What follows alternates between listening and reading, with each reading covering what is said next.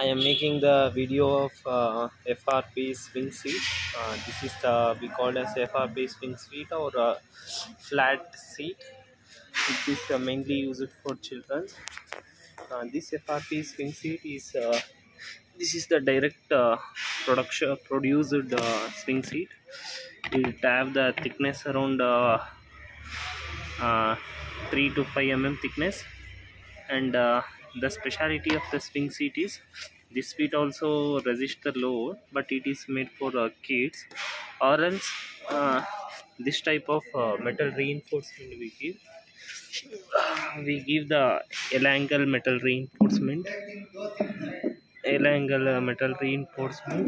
The L angle it's uh, only the metal uh, weight it's come around the 2.5 to 3 kgs. And it is